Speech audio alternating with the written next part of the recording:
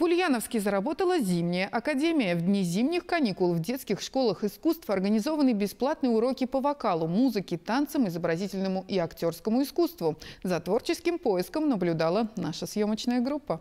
Так, все все помнят?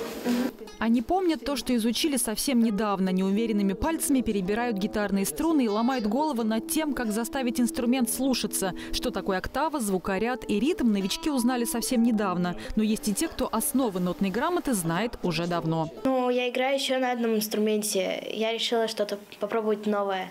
Одни приходят сюда, чтобы найти себя в музыке, другие – научиться азам рисунка, живописи и скульптуры. Или просто побыть с семьей и заодно попробовать себя в декоративно-прикладном искусстве. В детстве я мечтала как бы сама ходить, но как-то не получилось, не сложилось так, что вот, ну, не получилось ходить в музыкальную школу.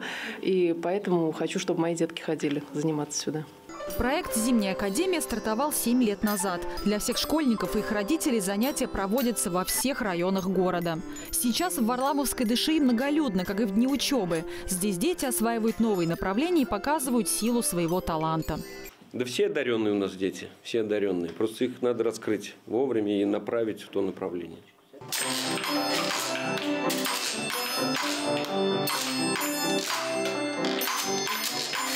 Во время зимних каникул местные дети вместо компьютерных игр выбирают игры активные. Между занятиями в спортивных секциях и катанием с ледяных горок они развивают творческое мышление и формируют любовь к искусству.